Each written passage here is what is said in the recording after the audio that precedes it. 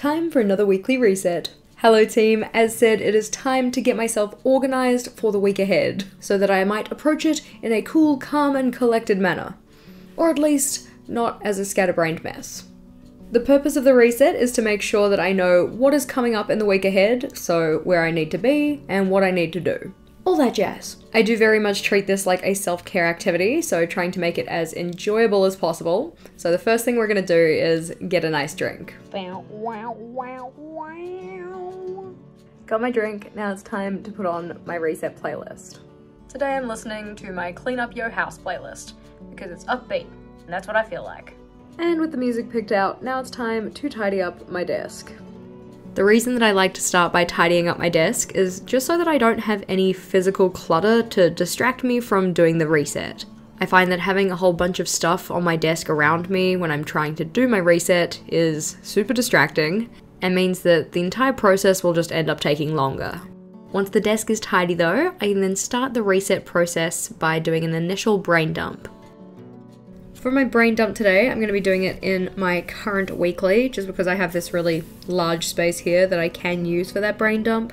So I'll just jot everything down in this tasks column, but won't assign it to a day of the week. While the desk tidying was to get rid of physical clutter, this initial brain dump is very much to deal with my mental clutter. So, getting rid of any thoughts or tasks that I have floating around in my head, getting them down on paper so that they don't distract me from the rest of the reset process.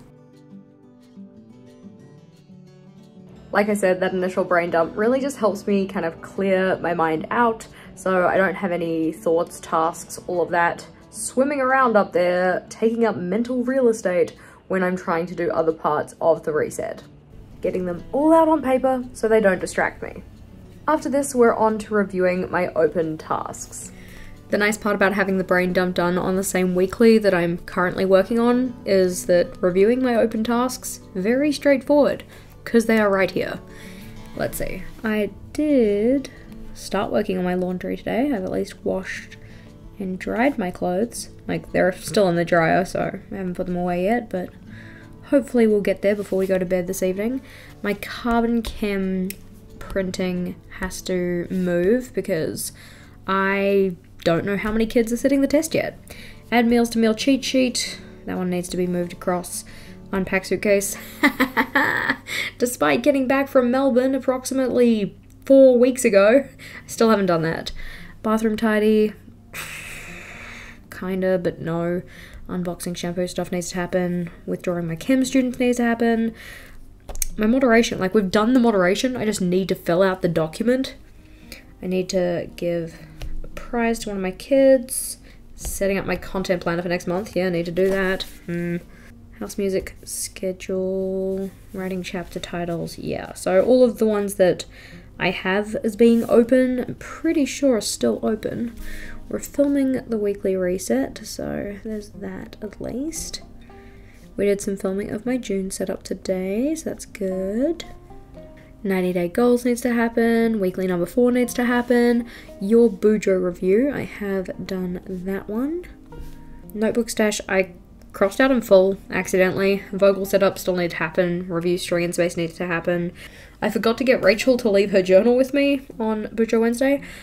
Oof, God, I've been apocalyptically poor at filling in my habits.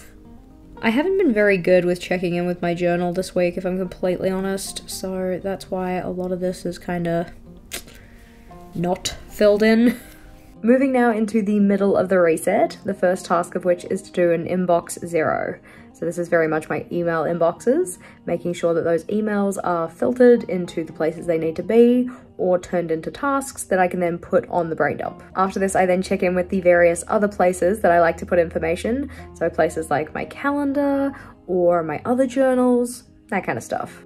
Since doing my proper inbox zero a couple of weeks ago, keeping my inbox fairly clutter free has been pretty straightforward. But as I go through those emails and get rid of anything that shouldn't be there and and sort anything that needs to be in other places, I can add tasks to that brain dump.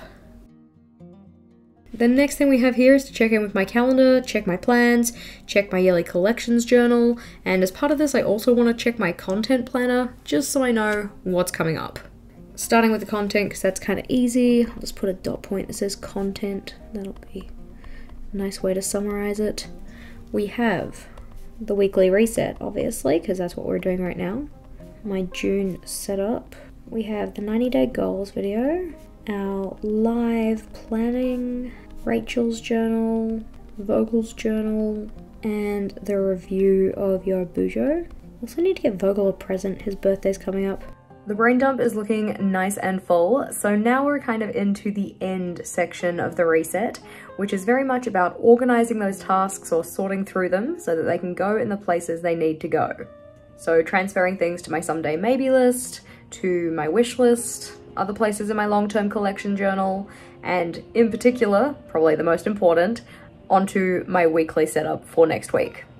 Having a quick scan through of my list, for pretty much all of these, they're gonna go on my next week's weekly, but some of them do need to go into the someday maybe list. For instance, the old A&O boxes, selling the oven and the desk, getting a toaster and a kettle, the and you journaling, but everything else will be happening next week. So we'll just transfer those ones into the someday maybe list.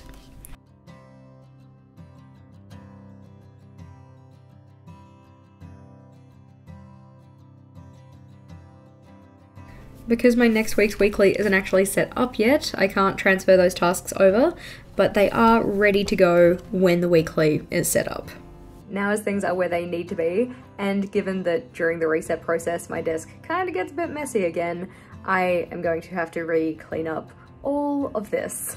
Making sure that all my pens are away where they should be, putting any journals back where I like to store them, all that jazz. Yay for knowing what I need to do and where I need to be. As I said, my weekly reset process is very much a self care activity, so I like to finish it up by going and doing something small but enjoyable for myself. And I think today I'm gonna go and pester Vogel to pay attention to me. Love me. I'd love to hear about one thing that you're doing for yourself today, and drop it in the comments below so that we can celebrate taking care of us. As always, team, thank you for watching, and until next time, bye! Party!